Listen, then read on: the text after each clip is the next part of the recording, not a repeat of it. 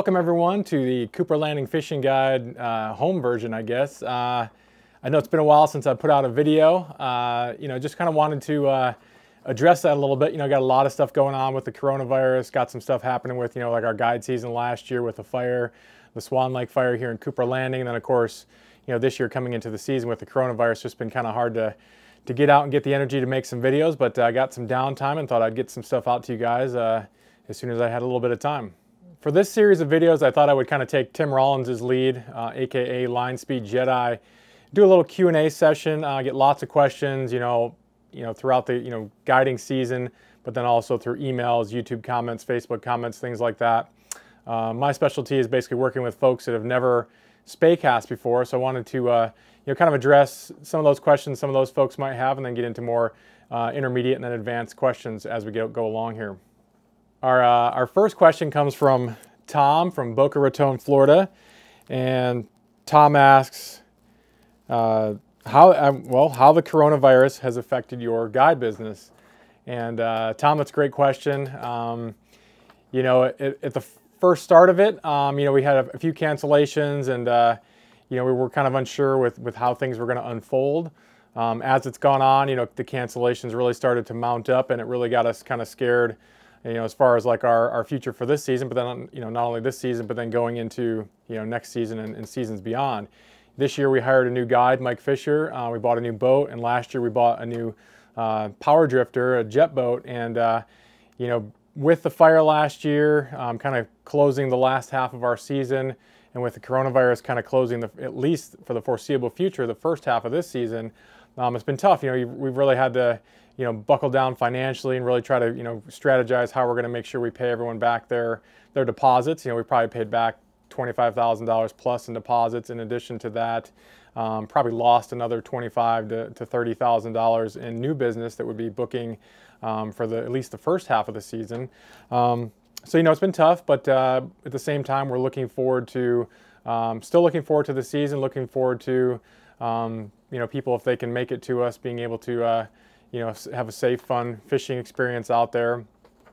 Fishing for us um, in the guiding industry has actually been deemed a, an essential service, which um, which is kind of like uh, you know, there's definitely some pros and cons to that. We're allowed to fish, um, but at the same time, we want to make sure that we're keeping our our patrons, our uh, our good good folks that fish with us safe and healthy, and uh, you know, give them the peace of mind when they're fishing with us that they'll be safe. So we've been really weighing that kind of stuff. Um, overall, I think it's really you know given us a you know, a hard look at the business, the business model, you know, a hard look at like how we're going to approach the future and plan for the future. Um, but honestly, it's done nothing but, but good things for our business. We've learned a lot about how we do business. We've learned a lot about um, our customers, and we've learned a lot about, uh, you know, how we're going to go forward. So uh, we're looking to come out of it. Um, I wouldn't say ahead, but we're looking to come out of it much stronger than we went into it. Thanks for that mess, or uh, thanks for that uh, question, Tom. Uh, Andy, he's from uh, King of Prussia in Pennsylvania. Says, I love your content, and uh, what is the easiest and cheapest way to get into spey casting? And what I would tell you, Andy, is that the gear you have right now will, will help you kind of uh, learn a little bit about spey casting. So if you have a regular, you know, common like nine foot five weight single hand rod or any kind of single hand rod with any kind of fly line, you can begin to practice some of your spey casting. Uh, a couple casts that I would probably try would be like a double spey. Um, you know, single spey you could try, but double spey really helps because you get a little bit of water load. Um, but yeah, you can basically use your normal setup and uh, just practice some of the casts that you've seen on TV, or I'm sorry, on YouTube and, and, videos and things to familiarize yourself with the technique. You don't need to spend any money on any special lines or any other different equipment.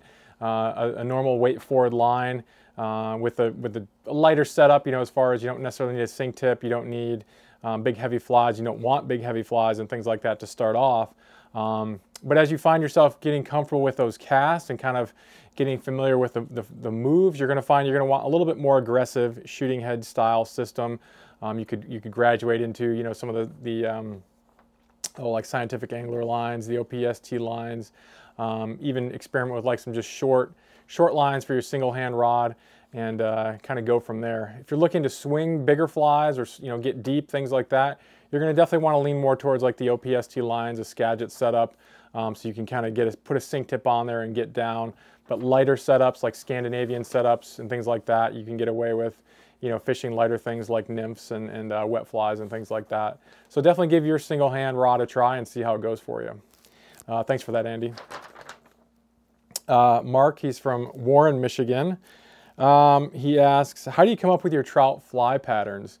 Um, basically, all the flies that I tie and most guides like to tie are what we would consider guide style flies, where we basically want to be able to tie flies really fast because we know we'll probably lose them, damage them, um, and things like that. So we want to make sure we, we you know, don't overcomplicate them, you know, with a bunch of steps and, you know, it takes us 15 minutes to tie a fly that will take us two minutes to lose. So, so first and foremost, we want to make sure we're tying things that are effective that catch fish, but then also, you know, if we lose them, we're not going to cry about it. Then we can tie multiples of them in, in a quick period of time.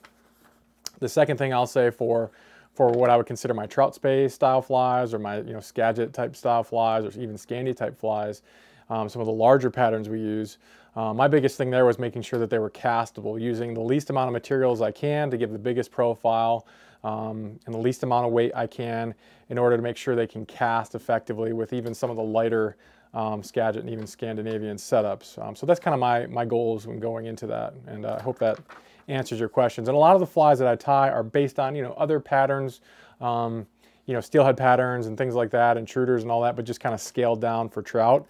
Um, one of the cool things about tying flies is that you once you learn how to use certain materials, like once you learn how to wrap marabou or wrap different um, hackles for collars or thing or Palmer hackles, all that kind of stuff. Once you learn how to each use each kind of material, then you can start to um, really start to experiment with kind of bringing those flies that you see in your head to the vise and then out to the water. And that's kind of what I like to do. I don't really have a specific goal when I'm actually designing flies as far as, uh, you know, I don't really have a formula. It's more so just to try to make them easy to cast, easy to tie, quick to tie, and that will catch fish.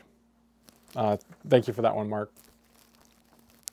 And our last question today comes from Mike. He's from Rochester, New York, right uh, you know, about 100 miles north of my hometown of Corning, New York. So, hi, Mike. Uh, good to hear from Rochester, New York.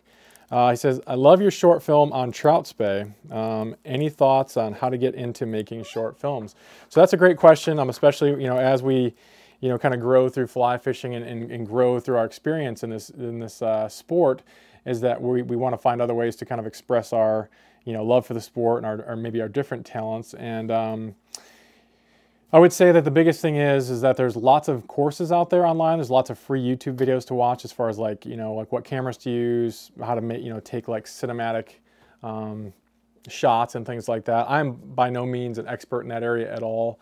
Um, I'm completely self-taught. All the films and things that that I do, um, I use a very minimal equipment. I'll use my camera, my DSLR, DSLR like I've got set up here with a like a wireless lav mic like I have here. and then I'll use my GoPro and now I have a DJI Osmo Action and then my DJI drone. And I basically set up, you know, my camera on a tripod at various angles trying to capture myself, you know, whether it's, you know, talking head fishing, you know, talks as far as like casting and things like that, or I'll have, you know, some over the shoulder shots or down, down the line shots. Um, so just kind of what I, what I like to do is take what I have in my head as far as how I want things to look and then try to replicate that with my camera setup and things like that. Um, but I think a really big part of um, kind of putting it all together is learning how to edit. Um, and I'm, you know, of course, with like filmmaking and things like that, I'm very, very, very new to it, very green at it. I have a lot to learn.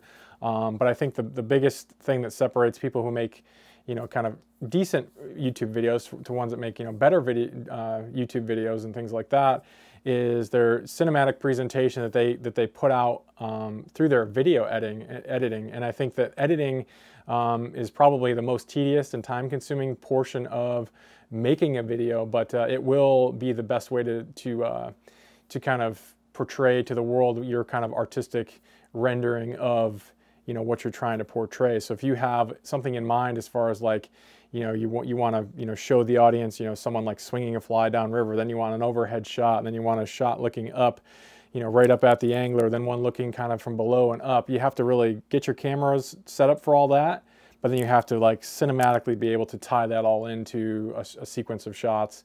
Um, and then of course combine that with music. Um, once you get a little better at editing and taking particular shots, what you really want to make sure you do is pick a song way before you put out your, you know, your or start to edit your video.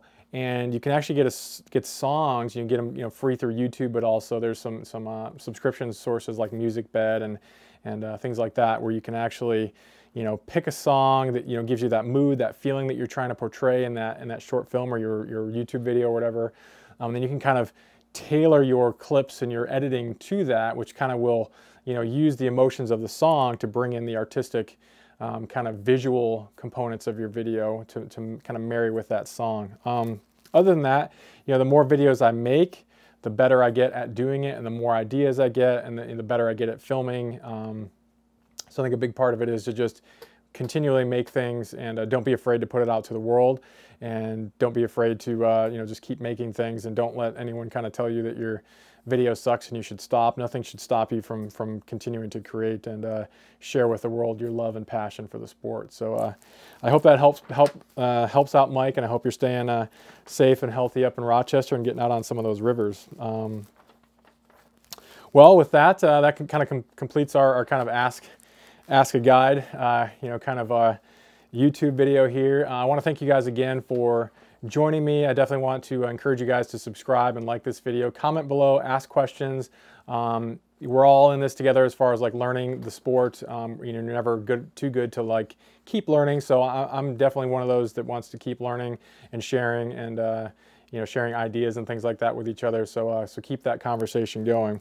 Um, definitely look out for more videos coming up. I'm going to be doing some more of these talking head type things with uh, you know Q&A and uh, more stuff on the water. You know, since I'm not going to be on the water a ton this year, you know, which is what it's looking like. I'm probably going to do some videos on king salmon on a two-handed rod, um, even trout, even more trout stuff during the heart of the summer, and, and different just uh, stuff about the river in our area. You know, to kind of share with folks. But uh, yeah, so just keep keep watching and supporting. And uh, thanks so much for your time, guys. I appreciate it.